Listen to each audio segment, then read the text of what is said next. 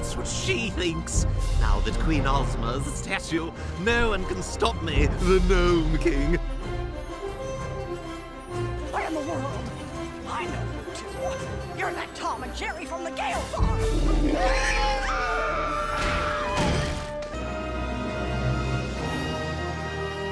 We must be over the rainbow.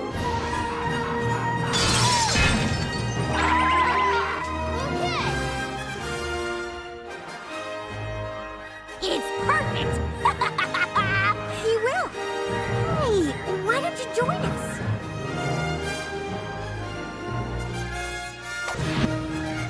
Come on, Banana Brains.